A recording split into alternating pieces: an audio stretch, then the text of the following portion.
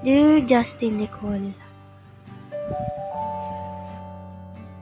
Ikaw nga pala yung kaibigan kong napakabait. Kahit na minsan ay nag-aaway tayo pero mahal pa din kita. Sorry nga pala sa nasabi ko sa'yo na hindi mo nagustuhan.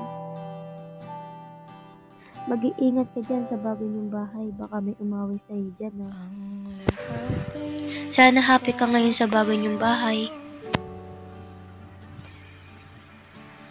Huwag mo akong kakalimutan. Mamimiss kita, sobra. Mamimiss ko yung kakulitan mo tapos yung pagyakap mo sa akin. Wala na papalo sa akin kasi wala na kayo sa Manila. Nandyan na kayo sa bago yung bahay. Mamimiss ko din yung pagsundo ko sa'yo minsan sa school mo. Alam ko malungkot ka, alam ko din na habang binabasa mo to, umiiyak ka. Kahit nga ako, naiiyak ikaw pa kaya. Yun lang masasabi ko kasi hindi ko na kaya ang sakit kasi iiwan mo na kami kakaibigan. Bye, ingat ka na lang dyan. I love you, Justin Nicole.